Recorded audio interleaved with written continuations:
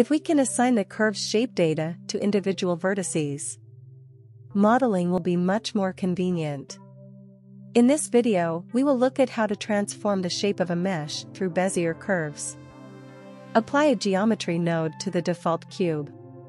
Since we are going to transform the shape, subdivide it sufficiently.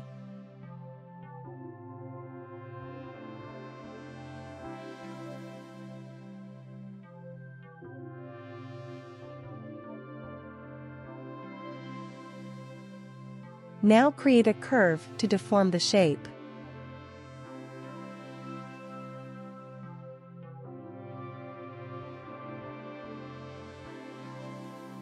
Add one Bezier curve object and make a shape in edit mode.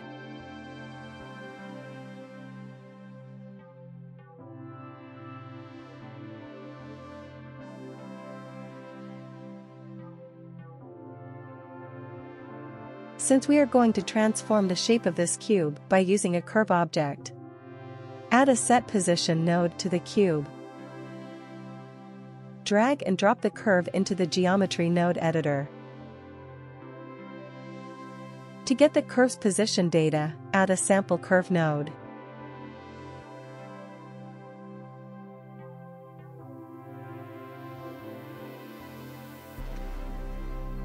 Add a vector math node to transform the position using sample curve data.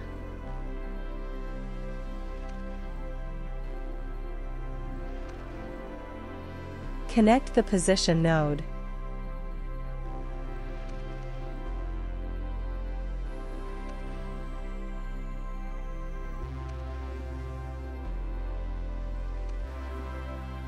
If you connect the position node to the factor socket, you can see that the shape of the curve affects the cube's deformation.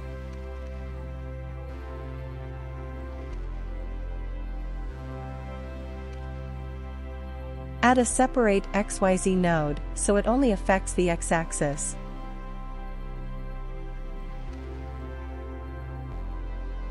Add a map range node to give predictable control.